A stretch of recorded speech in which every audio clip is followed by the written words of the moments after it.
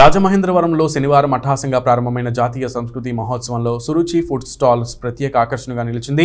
ఈ ఈవెంట్ను ప్రారంభించిన ఆంధ్రప్రదేశ్ గవర్నర్ బిశ్వభూషణ్ హరిచందన్ బ్యాటరీ బగ్గీలో కేంద్ర రాష్ట్ర మంత్రులు ప్రజా ప్రతినిధులతో గ్రౌండ్ అంతా తిరుగుతూ పరిశీలించారు. ఈ సందర్భంగా సురుచి స్టాల్ వద్ద వారి వాహనాన్ని నిలిపినప్పుడు సురుచి పిఆర్ఓ వర్మ గవర్నర్కు బహు బాహుబలి కాజాను బహుకరించి తాపేశ్వరం కాజాను రుచి చూపించారు.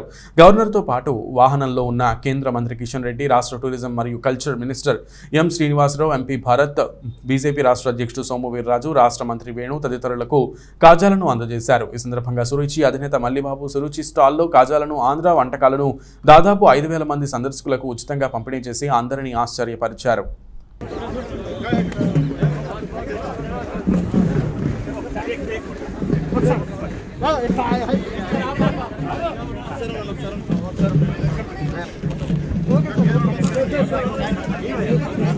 なる